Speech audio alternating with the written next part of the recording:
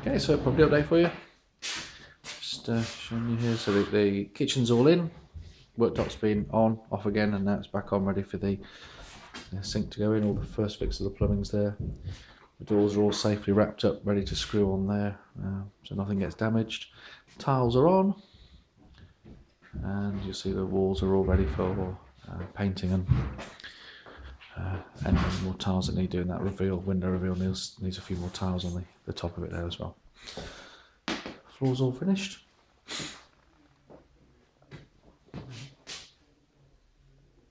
Just needs sweeping up and grouting. Uh, this room always the last room to be done the front room just gets used as a storeroom but there's really not a lot much to do in here. It's uh, uh, just a matter of decorating and preparing and then then decorating as you know, all that was uh, taken off and we've damp-proof injected it, just leaving it to dry out for a little bit longer and then that will get replastered. Going up the stairs. A lot of gloss paint going on, a lot of prep there.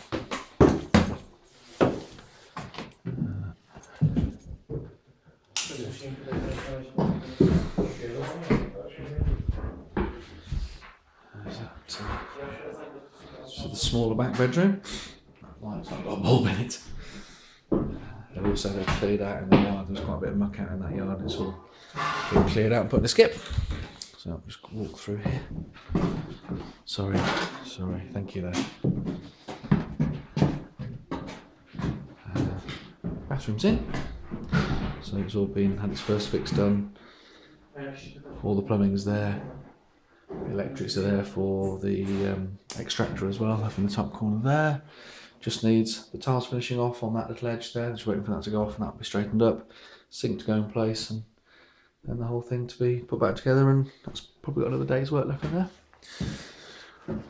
Uh, all's been replastered there and all been decorated as well.